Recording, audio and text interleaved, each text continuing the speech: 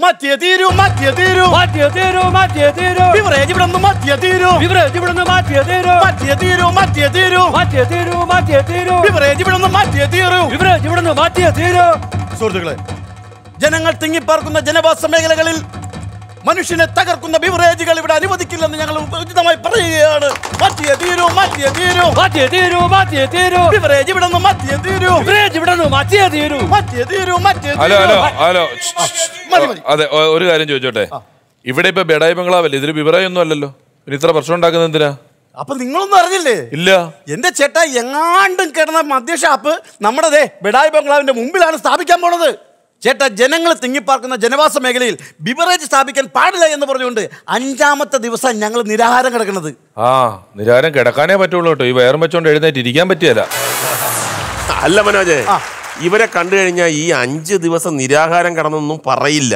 പത്ത് മിനിറ്റ് മുമ്പ് നാല് കോഴിയും പതിനഞ്ച് ചപ്പാത്തിയും അടിച്ച് അകത്താക്കിയിട്ട് വന്നെന്നേ പറയത്തുള്ളൂ. കണ്ട? എന്റെ ചേട്ടാ അഞ്ച് ദിവസം മുമ്പ് ഇവരെ ഒന്ന് കാണണമായിരുന്നു ഇത് അഞ്ച് ദിവസം നിരാഹാരം കിടന്നതിന്റെ ക്ഷീണ ഇപ്പോ. അയ്യോ അപ്പൊ അഞ്ചു ദിവസം മുമ്പ് കണ്ട എന്തായിരുന്നു? മനോജേ ഇവരെ കണ്ടു കഴിഞ്ഞാൽ ഒരു ഒരു ഒരു അങ്ങനെ ഒരു ഫീൽ വരുന്നില്ല? ഈ വയറിലങ്ങ് തള്ളി നിൽക്കുന്നുണ്ട് ഒരു ബെൽറ്റ് ഇട്ടൊന്നും അതൊന്നും ഒതുക്കിക്കൂടെ? ബെൽറ്റ് ബെൽറ്റ് ഏ ചേട്ടാ ബെൽറ്റ് ഉണ്ടായിരുന്നു. ഇത് തുറന്നു കഴിഞ്ഞാൽ അത് അങ്ങ് അറ്റം വരെ പോവും. അതന്നെ ഇത്രയും വലിയ ബെൽറ്റോ? ബെൽറ്റൊക്കെ ചെറുതായിരുന്നു പിഷാടി വയറ് കുറയാൻ വേണ്ടി ഇത് കെട്ടി. പക്ഷെ വയർ കുറഞ്ഞില്ല ബെൽറ്റ് വലിഞ്ഞ് നീട്ടം വെച്ചു പോയിന്ന് മാത്രമേ അതെ നിങ്ങൾ ഞങ്ങളെ കളിയാക്കൊന്നും വേണ്ട. വേണമെങ്കിൽ ഞങ്ങൾ പത്ത് പുഷപ്പ് എടുക്കും. അറിയോ?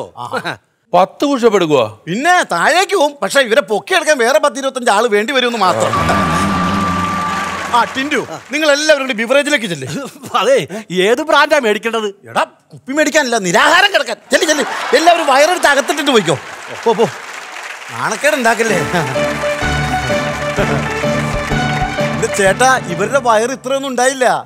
നാലു ദിവസം ഭക്ഷണം കഴിയാതെ ഗ്യാസ് കയറി വീർത്തതാ ചേട്ടാ ഒന്ന് ഓർത്തു നോക്കിയേ. ജനവാസ കേന്ദ്രങ്ങൾ ഇതുപോലുള്ള ബിവറേജ് വെച്ചാൽ സ്ത്രീകൾക്ക് നടക്കാൻ പറ്റുമോ നീ മാറി നിന്നാ മതി അവർക്ക് നടക്കാൻ പറ്റും. ഡാഡി ഒന്നാമത്തെ ഈ സമരത്തിന്റെ മുൻപന്തിൽ നിൽക്കുന്ന ആരാന്നറിയാമോ? മുൻപന്തിൽ എല്ലാം സ്ത്രീകളാണ്. അതെ അവർ അവർ മുൻപന്തിയിലുള്ളതുകൊണ്ടാണല്ലോ നീ മുൻപന്തിയിൽ വന്നത്. ഒരു കാര്യം ഞാൻ ഉറപ്പിച്ച് പറയാം. ബെഡായി ബംഗ്ലാവിന്റെ മുമ്പിൽ വിവറേജ് വരുന്നതിനെതിരെ ശക്തമായി ഞാൻ എതിർത്തിരിക്കും. എന്റെ പല്ലും നഖം ഉപയോഗിച്ചത് മനോജ്. ഇത് ശരിയല്ല. ഇത് ശരിയല്ല. ശരിയല്ല. എല്ലാവർക്കും കള്ള് കുടിക്കണം. പക്ഷെ അവനവന്റെ വീടിനടുത്ത് ബിവറേജ് വരാൻ പാടില്ല. അങ്ങനെ പറഞ്ഞ ഇതെങ്ങനെ ശരിയാവും? നിങ്ങൾ എതിർക്കുകയാണെങ്കിൽ ഒന്നുകിൽ കേരളത്തിലുള്ള എല്ലാ ബിവറേജുകളും അടയ്ക്കണം എന്ന് പറഞ്ഞ് സമരം ചെയ്യണം. അല്ലാതെ ഒരിടത്ത് വരുന്നത് മാത്രം പാടില്ല ഇന്നത് മാത്രം പാടില്ല അവനവന്റെ മുറ്റത്ത് മാത്രം പാടില്ല ഈ പരിപാടി ന്യായമല്ല. കേരളത്തിലെ ഏത് ബിവറേജിനോട് എനിക്ക് എതിർപ്പില്ല. പക്ഷെ ബെഡായി ബംഗ്ലാവിന്റെ മുമ്പിലുള്ള ബിവറേജിനോട് എനിക്ക് എതിർപ്പാണ് സമ്മതിക്കില്ല. എന്തുകൊണ്ട് വിവര ബിവറ ഇവിടുത്തെ ബിവറയിൽ മാത്രം നീ എതിർക്കുന്നു? നീ ഒരു സാമൂഹിക പ്രവർത്തനാന്തെങ്കിൽ അങ്ങനെ എതിർക്കാൻ പാടില്ല. മുകേഷ് ചേട്ടാ ഇതിന് മുമ്പിരുന്ന ബിവറേജ് ഉണ്ടല്ലോ. എത്ര നല്ല സ്ഥലത്തായിരുന്നത്? അവിടെ ക്യൂ നിന്ന് കഴിഞ്ഞാൽ റോട്ടിൽ കൂടി പോകണം ആരും കാണില്ലായിരുന്നു. ഇവിടെ എങ്ങാനും ഞാൻ വന്ന് ക്യൂ നിന്ന് കഴിഞ്ഞാൽ ഈ ഗസ്റ്റുകൾ കാണില്ലേ? ഈ ആളുകൾ കാണില്ലേ? മാത്രമല്ല പത്രത്തിൽ വാർത്ത വരില്ലേ? ക്യൂ നിന്ന ഭർത്താവിനെ ഭാര്യ തല്ലിയെന്ന്. ഏത് ഭാര്യ? എന്റെ ഭാര്യ. എന്റെ വീട് തൊട്ടപ്പുറത്തല്ലേ?